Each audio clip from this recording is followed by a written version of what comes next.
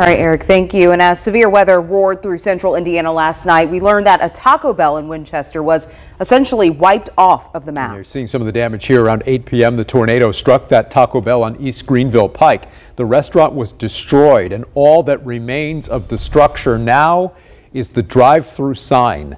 Nothing of the Taco Bell building itself remains with the debris spread all across that area. So let's continue our team coverage tonight in Winchester, where Fox 59's Claire Curry joins us live from another part of town. And Claire, what are you seeing out there?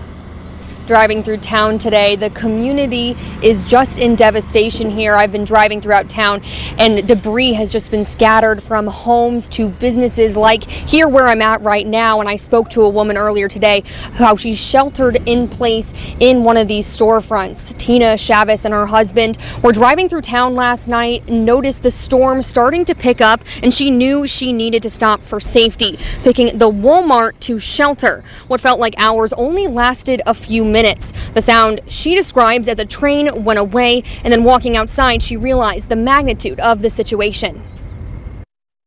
We started hearing what felt like vib well, we felt vibrations.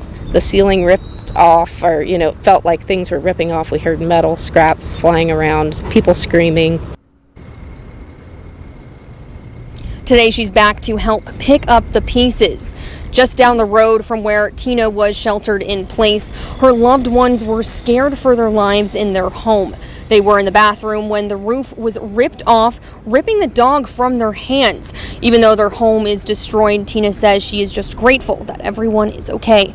Again, the town is still working to pick up the pieces here and will continue to follow their cleanup recovery efforts. So you can stay tuned with us online and on air for updates as they come in. Reporting in Winchester, Claire Curry, Fox 59 News. Okay, Claire.